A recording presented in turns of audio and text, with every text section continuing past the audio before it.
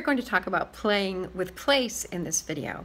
Both asking questions, living questions, dealing with bloopers, and using different places and spaces for your writing and for your characters in your writing. So let's go on a little journey and see what this is all about. Don't hesitate to ask yourself questions or find questions wherever you are.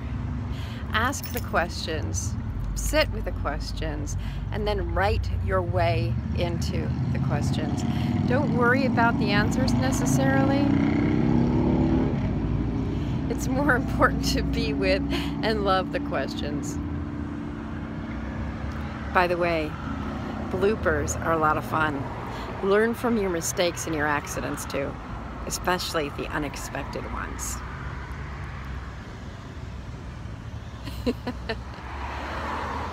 The next time you sit down to write, think about the setting in which you are writing and the setting in which the moment in time you're describing takes place. Both has a significant impact on the writing and the story, whether you know it at first or not. So believe it or not, this backdrop right here is pretty cool, is a step away from this backdrop.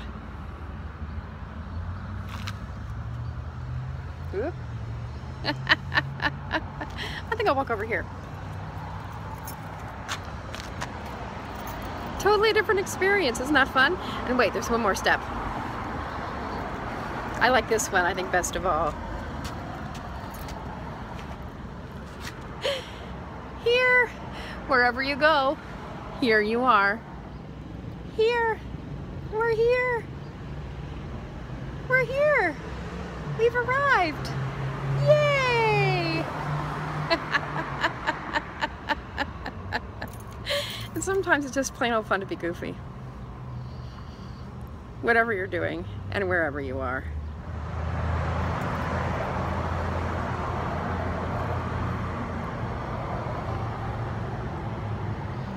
Do you ever just want to open up a mailbox and look into it?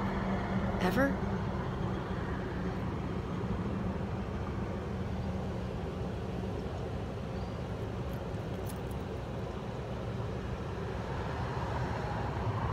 Not today. Not here.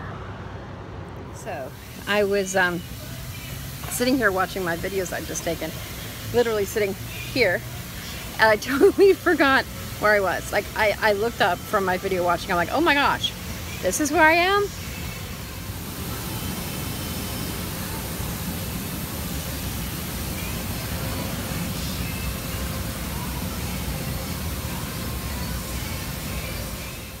That's one of the powerful aspects of the visual and especially a video.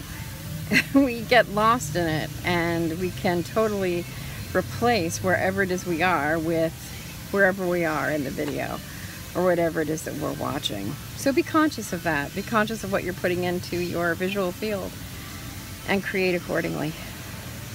So as writers, the setting that you're in while you're writing can change everything. Just like the setting you put your characters in, or that you're living in a memory if you're writing a memoir or a poem, can make all the difference. So be conscious with it. Some writers set up their desks really carefully before they write. Some writers go to places to inspire their writing experience. Just kind of see what happens when you play with your settings because it's as simple as um, looking around you may fuel your muse. So this is Julie Jordan Scott. I'm so grateful you're watching. I hope you will subscribe, ask people to follow me too and watch these videos about writing and the writing process and writing prompts and poetry and all kinds of cool stuff. I am grateful for your presence because the world is waiting for your words. So let's get those words on the page pay attention to where you are writing and put your characters and your stories in really interesting settings and watch and see what happens when you make those dynamic, significant, and simple changes. Thanks again for watching.